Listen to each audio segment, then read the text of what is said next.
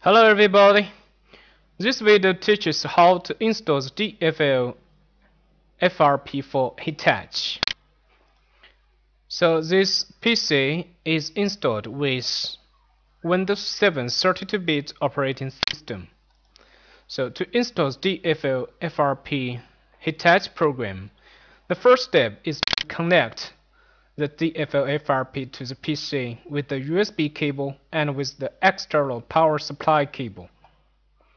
Next, let's go to the software setup program. You can download this latest program from the forum and then you just double click to open it and install it. Simply click next. Install it.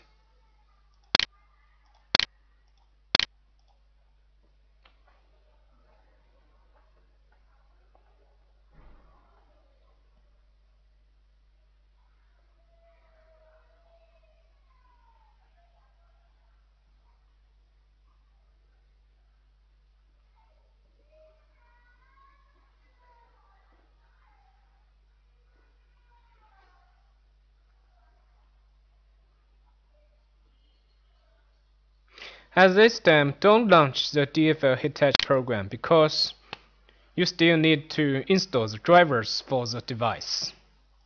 Click Finish. So after you install the software program, go to the Device Manager.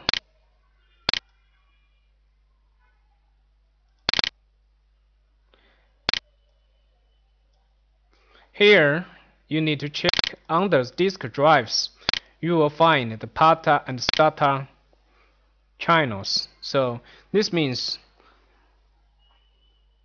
the two ports of the DFL-FRP device work normally. They are detected normally within this PC.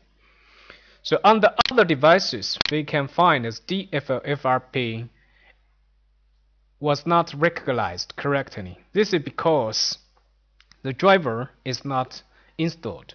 So now let's install the driver. Right click update the driver. Browse the driver location.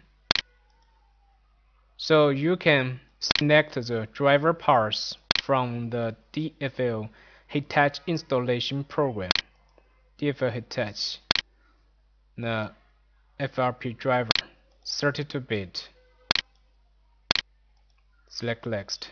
So install the driver. Okay. So after the driver has been installed successfully for the DFL FRP, under the Universal Serial Bus controllers, you will find the DFFRP device. This means the driver has been installed successfully. Next, you need to install the COM driver.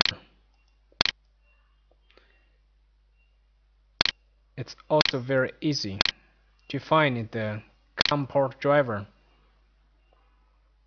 from your DFL Hitachi installation folder.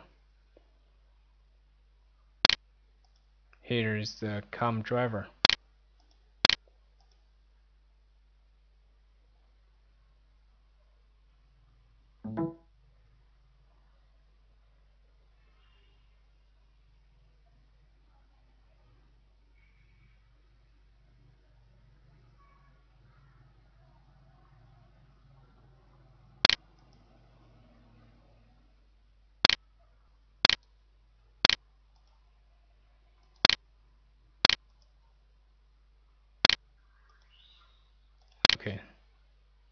So COM driver has been installed successfully.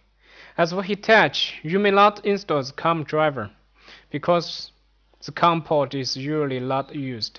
The COM port is mostly used for the Seagate and Samsung and Toshiba hard drives for the common firmware failures fix.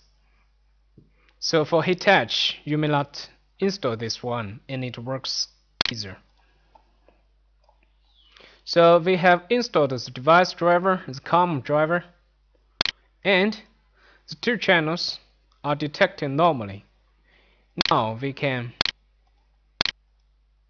generate the registration file double click the DFL Hitachi icon on your desktop. You will get message the device is not registered.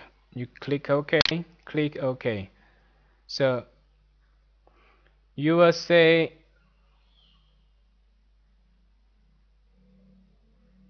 the file has been created. Please email to your sales representative. Just click OK.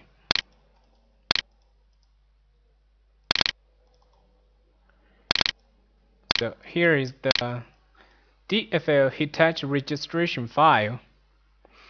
You just need to send this file to your sales representative or the support at dolphindatalab.com. After that, you will get one DAT activation file for Hitachi, such as this one.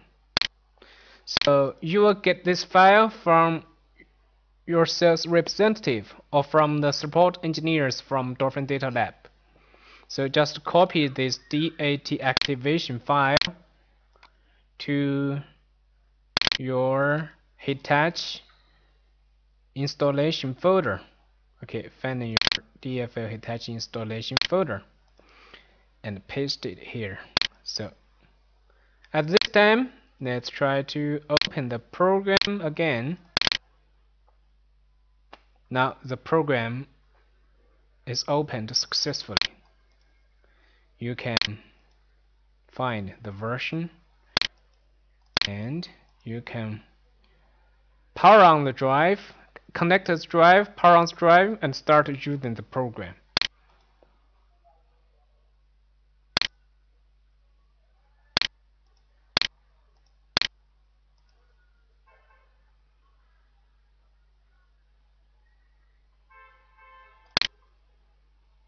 See?